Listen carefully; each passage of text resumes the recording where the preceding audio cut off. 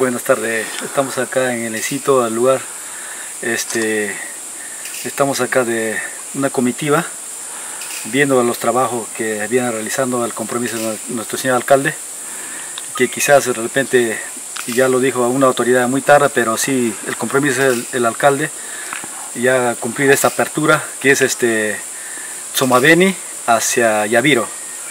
Y es muy interesante porque esto sin apertura de carretera, porque esto eh, ya pasa a mano de Provía, que nuestro señor alcalde ya, ya lo tiene documentalmente, y por eso es su preocupación señor alcalde, y apertura esta carretera, llegar hasta Yaviro.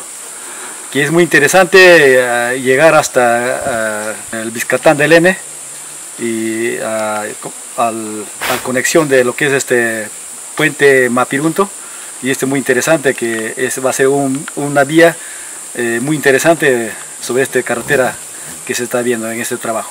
Bien, eh, acá no podemos dar el, día según el tiempo, a veces llueve y dificulta bastante, a veces la máquina, siempre hay deficiencia, ¿no? que por el uso del trabajo eh, va a haber un poco dificultad, entonces no, no podemos dar exacto el trabajo que se va, se va a hacer este trabajo. Nosotros como regidores hemos estado al pie viendo preocupación de las autoridades de, este, de esta cuenca, eh, inclusive en mes de, eh, mes de julio, a, un grupo de personas eh, muy preocupado para su, esta apertura, ¿no? donde el alcalde ya dio una fecha, lamentablemente no dio días indicada por algunos trabajos que se han venido realizando en otras cuencas, ¿no?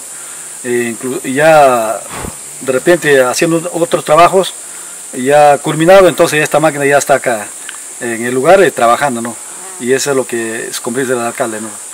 Sí, tiene muchos beneficios, padre. Como lo vemos, pues si no hay carretera no podemos sembrar nada. Pero si va a haber la carretera, sí va a ser un cambio. Cambio, queremos sembrar cualquier cosa, papaya, plátano, yuca, piña, lo que sea, cuando hay carretera. Pero si no hay carretera no podemos trabajar nada. Sumavene, Pachiri, Coriri y Yaviro. Y comunidades nativas.